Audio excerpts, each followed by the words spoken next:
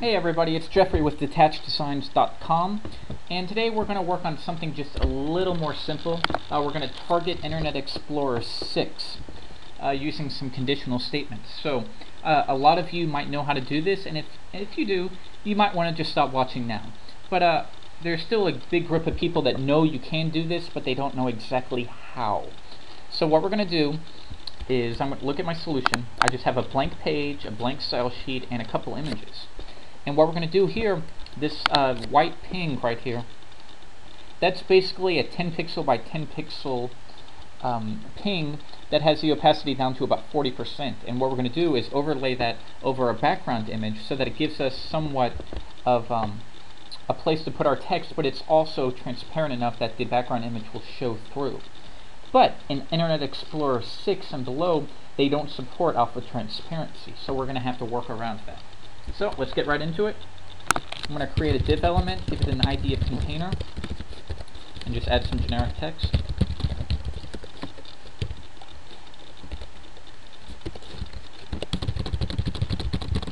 Alright, that's good. And let's go and add some styling. We're going to do container. We're going to set the margins to auto so that it's centered. And we'll give it a width of 700 pixels and let's also set the background. Now the background, we're just going to direct it to our ping element. So it's going to be img slash whitebg.ping. And because it's just a 10 pixel by 10 pixel graphic, um, we're going to set it to repeat and then put it in the top left portion of the screen. Now, just a quick tip, setting margins to auto will center the div, however in IE5 and below it won't. So what we're going to do is quick kind of hack.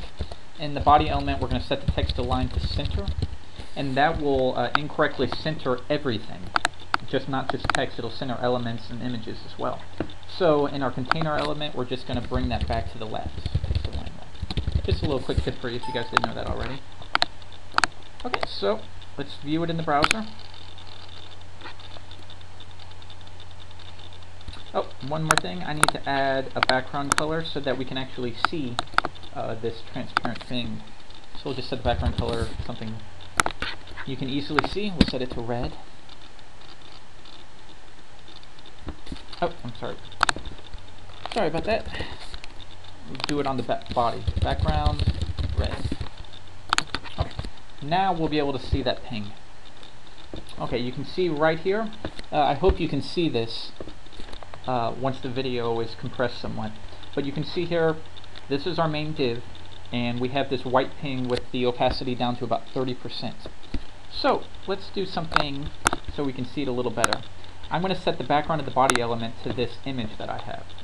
So we're going to do URL img slash background dot jpg, and we're not going to repeat it, just put it in the top left portion. Okay, and add a height to this just so we can see it a little bit better. I'm going to change the width down to 400 pixels and the height to about 500. Just random numbers, nothing too technical about that. Refresh it. Okay, so this is just a big picture of a woman smiling. It's actually for a project I'm working on. But you can see here this white ping is actually giving us a place to put our text. So it's not just some obnoxious white square that's covering up our image, we just have the opacity down. But, as I said before, IE6 will not display that alpha transparency. So how can we change the code so that in IE6 we do something different? Okay, well, let's get into it. Go back to my uh, main page, and in the heading tag, we're just going to add a little bit of code. I'm just going to add this text snippet. Okay, uh, go over this real quick.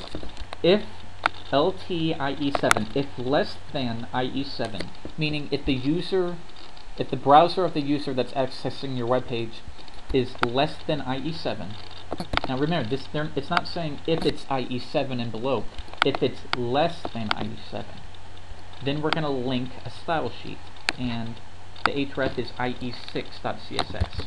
So let's go ahead and create that CSS. Add new item, style sheet, we'll call it ie6.css. And what we need to do here is change the background of this container element. So this is a style sheet that will only run if the user has IE6 or below. So, in the container element, I'm just going to change the background. And, you know, just so you can see the difference, I'm just going to change it to something like red. So if we run it in our main browser again, nothing is going to change because we haven't targeted these modern browsers. But let's go into IE Tester. Uh, this is just a program that allows you to test your websites in uh, different versions of Internet Explorer. So if you don't have it, whoops, that wasn't fun. If you don't have it, uh, I highly recommend you download it. Another website that you can use to test out your sites is uh, browsershots.org, I believe. If it's not, check browsershots.com. So I'm going to add a new tab, IE6, and I'm just going to paste in that URL. And now you can see in IE6, it's picking up that additional style sheet that's telling us to make the background red. So, going back over it, we have two style sheets. This style sheet will run in IE6 as well, but anything that we specify in this second style sheet will override the first style sheet, okay? And we do that by going back. If less than IE7, we're going to link a new style sheet, okay? So if we wanted to target IE7 specifically, we would just get rid of this LT. If IE7, and similarly IE6, or uh, if less than IE8. So uh, you actually have a good bit of wiggle room when uh, when targeting these browsers. So I hope this helped, and if you have any additional questions, feel free to visit detacheddesigns.com slash blog.